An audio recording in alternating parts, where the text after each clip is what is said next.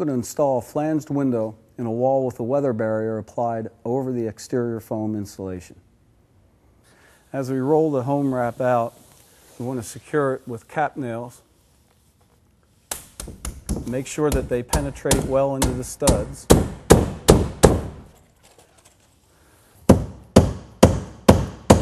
Now place just enough cap nails to hold the home wrap in place and then go back and fill in the nailing schedule later.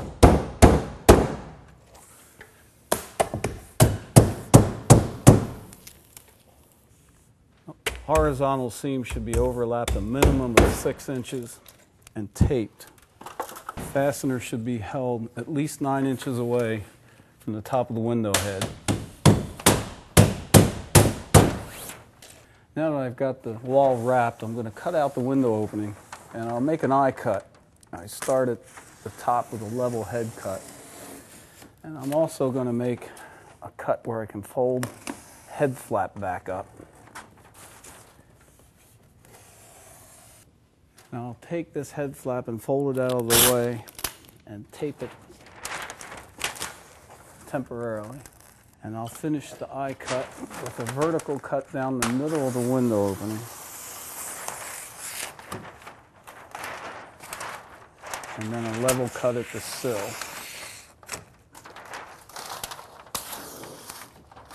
I'll tack the flaps to the back of the trimmer stud.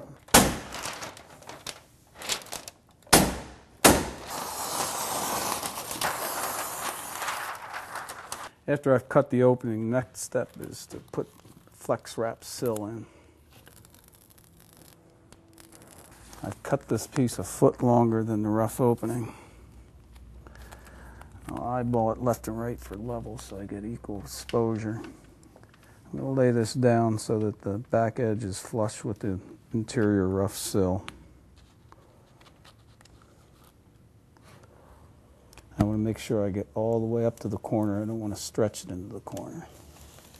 It wants to extend a minimum of six inches up the jamb. Work the other corner in place. And before I flex it, I'll use a J roller to make sure it's got good bonding. Then I'm going to flex the outside corner. Seamless corner in this spot. I'll start to fold the vertical leg over the sill. Then I'll fold out the other corner.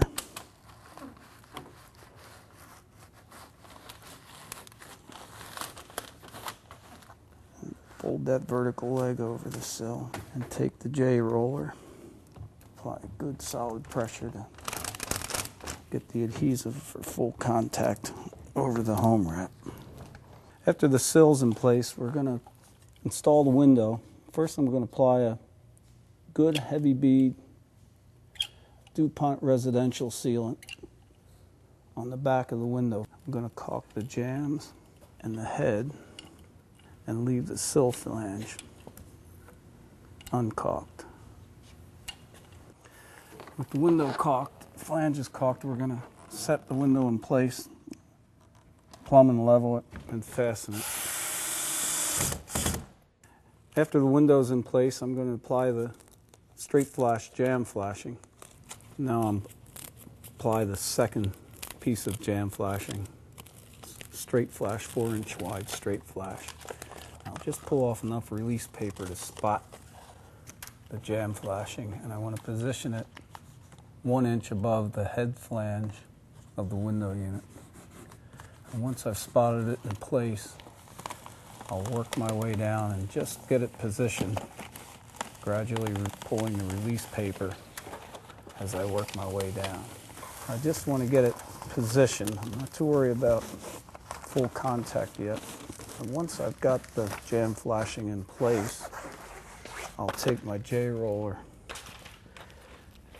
and roll, apply even pressure and get good contact all along the jamb flashing piece. After the two jamb pieces are installed, I'm going to put the last piece of head flashing in, StraightFlash 4 inch. You want the head flashing to extend at least an inch beyond the jamb flashing. And I'll use the J roller to apply good pressure and get full contact to the foam and the head flange.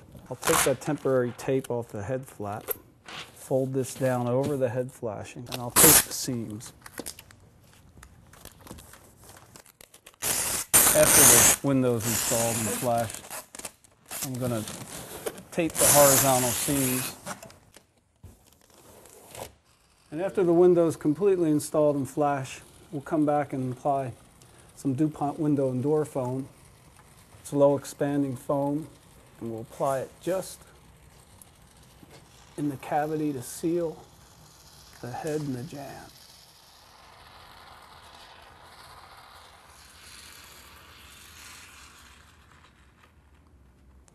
This is how a flanged window unit is installed in a wall with the weather barrier placed over the exterior foam insulation.